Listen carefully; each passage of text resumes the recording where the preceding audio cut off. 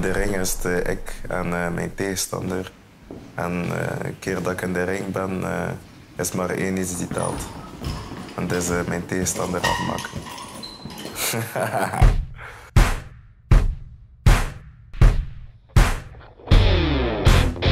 Mijn naam is Steven Habo. Ik ben 30 jaar, geboren in Roeselare. Ik heb altijd blijven in mezelf geloven en nu ben ik Europees kampioen. Uh, 18 3. Een, een, hoogtepunt voor mij was de, de eerste wereldtitel binnenhalen.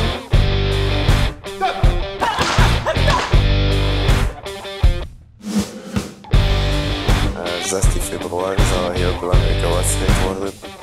Uh, verliezen is geen optie voor mij. You tap from a guarded position, tap, that's it. It's hard work, spanning two different kicks, it's good.